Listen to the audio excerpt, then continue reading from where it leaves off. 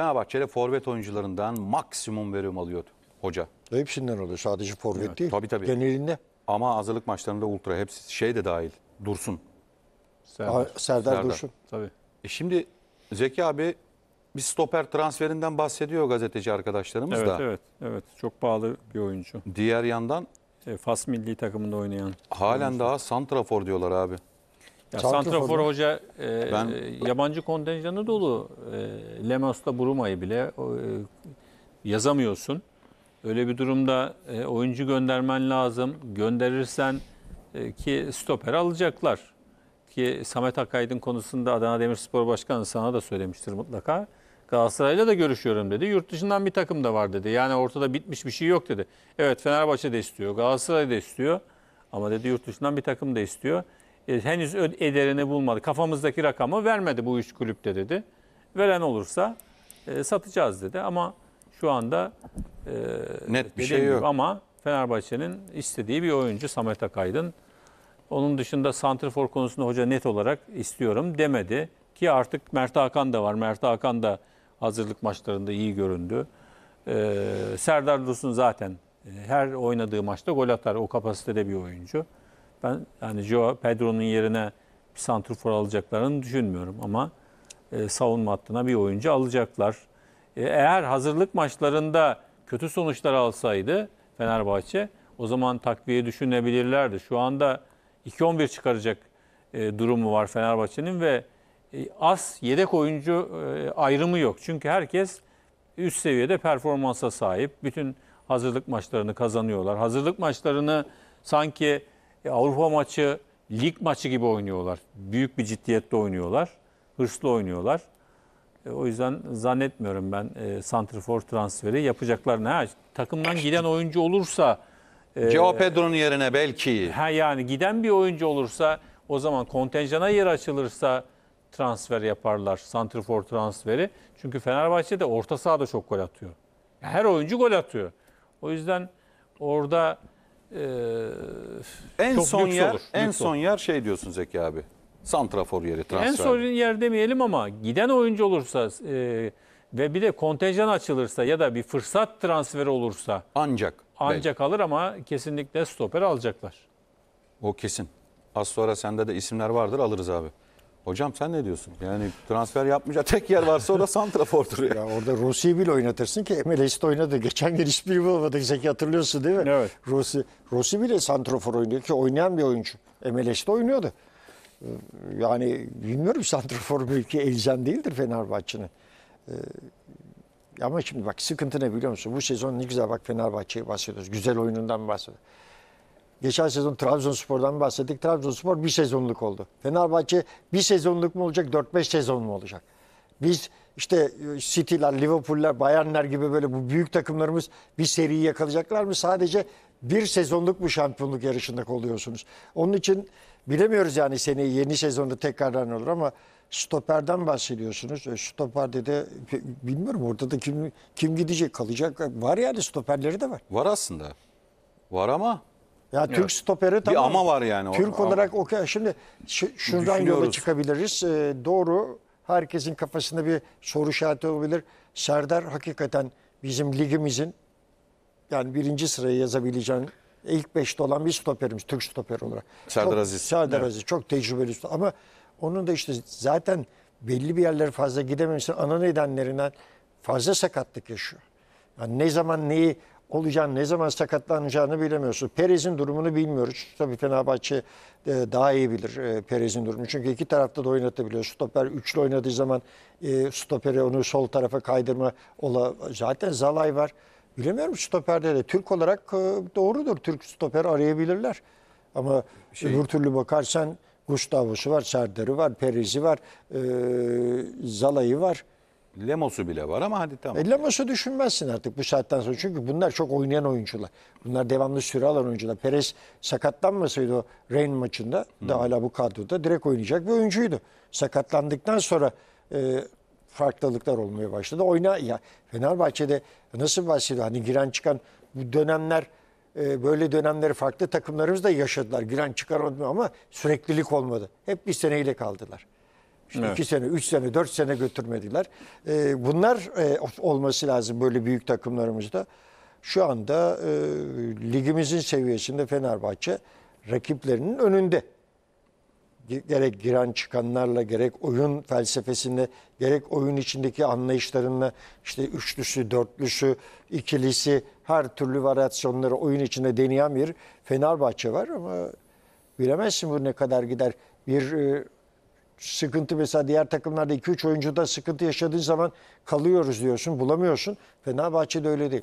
Valencia oynamazsa King geldi şimdi toparladı. O yoksa Batshuayi. Batshuayi var. O yoksa e, Serdar var. Türk oyuncu olarak. O yoksa Rossi var. Tekrar vurguluyorum. Rossi hem dışta hem de santrafor oynayan bir oyuncu. Oynamış da bir oyuncu. Bunu Amerika'da liginde oynadı. Çok e, birkaç pozisyonda oynayabilecek ve verim alınabilecek oyuncular var. İşte performans budur takım performansı. Kişi performansı değil. Benim hep vurgulamak istediğim biz hep kişilerin üzerinden gittik maalesef. İşte bu varsa "Aa, bu bizi götürüyor. Yok abi takım performansı. Takım oyunu. Niye dünya şampiyonundakinden hep stajda bahsediyoruz? Akordeon gibi açılıp kapalıyorlar. Bir gidiyorlar saniyede gidiyorlar. Saniyede geri dönüyorlar. Evet. Bu nedir? Takım performansıdır. Kişi performansı. Kişi performanslarını düzeltirsiniz. İki haftada, üç haftada biraz sonradan so- e, süre verirsiniz ama onu ha- hazırlayabilirsiniz. Eğer siz takım performansında düşüş yaş- yaşıyorsanız toparlaması çok zor. Bunu hocalık yapanlar bilir. Biz sadece gidiyoruz takımlarda. Bir iki kişinin performansı. Yok öyle bir şey futbolda. Diyorsun ki hocam bireysel çalışmalarla o açık kapanır. Kapar. Kapanır. Bak kişi, ama takım performansı çok önemli. Fenerbahçe de onun için göstermedi bize. Sezon başından beri yani hani bazı dersiniz ya birinin beş parmağına geçmez. Öyle de değil. Belki bir, bir tane bile zor bile. O kadar çok performansı düşük olduğu maçları. Gerek yurt dışında gerek yurt içinde. Şeyle e, Dinamo Kiev'le oynuyorsun, tek kale oynuyorsun. Oradan çıkıyor, buradan çıkıyor, sana çarpıyor, oradan gidiyor. Ha, adam bir geliyor abi bir tane yazıyor, daha eyvallah gitti. Biz E şimdi, niye yapamıyoruz değil mi yani? e, bu takımın kötülüğünden mi Çok kaynaklanıyor? çalışmaya bağlı. Şimdi Bu takımın kötülüğünden mi bağlı değil? Jesus'un biliyorsun genelde bizim teknik adamlarımız e, idmanı 2 saatle e, maksimum 2 saat yapar idmanı.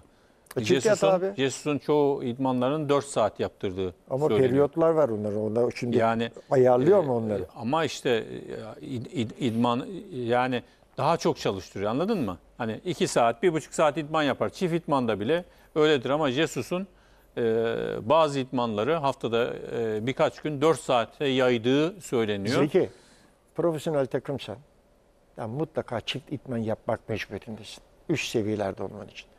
Ondan sonra işte biz bu seviyemizde kalırız. Bakın gidin Avrupa'daki üst elit takımlarına genelde hepsi çift itman yaparlar. Adamlar demiyor ki ben haftada iki maç oynuyorum bilmem ona bakmıyor. Takır takır çift itman yapıyorlar. Onunla ilgili bir teknik adam ismini vermeyeceğim. Çift idman yapmak istedim, istiyordum ama kulüp yönetimi bana işte akşama denk geliyor. İşte tesislerin, işte e, idman sahasının ışıklarını açmak zorunda kalıyoruz. Çok elektrik parası geldiği için ya hocam şu idmanı yapıyorsan da hani birini sabah çok erken saatte yap, diğerini de öğlen saatlerinde yap da akşama denk getirme elektrik parası fazla geliyor diye Sonra e, biz hocayla neyi- neyi konuşuyoruz? kulüp bile olmuş yani onu Ya söyleyeyim. neyi Yani konuşacağız imkanlar- ondan sonra? Ya? Neyi konuşacağız? Ama işte diyorum ya maddi durumlar hani elektrik parasını bile düşünen Ya o kulüpler var abi, yani ne o yapacaksın abi, imkan o kadar. Profesyonel olma amatörde kal. Ya yapma yani. E biz biz futbolumuzu ileriye taşımak istiyoruz. Gençlerimize örnek oyuncular yetiştirip onların peşinden koşması gereken bir e, jenerasyon çıkartmak istiyoruz. Ama biz siz bunları kısıtlarsanız e, biz de burada e, sadece haftalık performansların üzerinden gidersek maalesef futbolumuzu bir türlü kurtaramayız. Hepsi yani yukarıdan aşağı kadar silsilesi e, sıralanıyor. Onun için e, Fenerbahçe bu sezon bize bunu gösterdi. Gerek hoca ile zaten en başta hoca ve oyuncular hepsi inanmışlar. Emre Mor'u atıyorsun orta sahada oynuyor. Emre Mor'u atıyorsun dışarıda oynuyor. Emre Mor'u atıyorsun e, forvetin arkasında oynuyor. Lincoln atıyorsun sol bek oynuyor. Yani sol bekten O- ziyade o koridorda oynatıyor. Onlar güzel. Şimdi burada en büyük sıkıntı acaba Jorge Jesus'un motivasyonu bozulur mu? Yok. Çünkü e, çok iddialar var. Şimdi Brezilya basını ve Portekiz basınında e, gazetelerde manşet oluyor Jesus. Lütfen Mesela abi, oku- okur musun? Ee, Brezilya Futbol Federasyonu hani e, bir baskı var. Brezilya Futbol Federasyonu'na Jorge Jesus ne zaman açıklıyorsun? Nedir? Ne durum nedir? E, en sonunda şey demiş, e, Brezilya Futbol Federasyonu Başkanı Ednaldo Rodriguez, hani e, Tite gittikten sonra yerini alacak teknik direktörle ilgili her kafadan bir ses çıkıyor demiş. Ailemle bile bu konuyu konuşmuyorum. İsme ben karar vereceğim. E, bu nedenle hiçbir futbol federa hiçbir e, federasyon yöneticisinin milli takımın geleceği hakkında konuşmaya yetkisi yok. Hiçbirine de konuşma izni vermiyorum demiş. Hiçbir Ee, şey söylememiş yani. Söyleyen de e, işte Jesus, Mourinho, işte Guardiola, işte bir sürü isimler dolanıyormuş.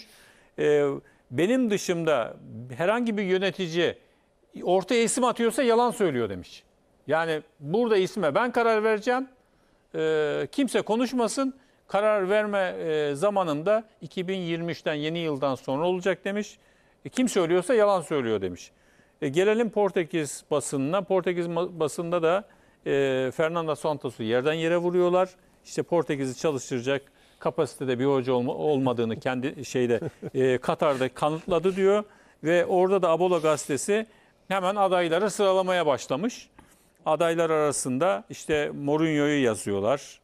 E, Wol- Wolverhampton'dan Bruno Lage'yi yazıyorlar. E, Fenerbahçe'nin hocası Jesus'u yazıyorlar. E, bunlar listede ve bunlar bunlardan biri işte Portekiz milli takımını çalıştırsın diye işte haberler yapılmaya başlanmış.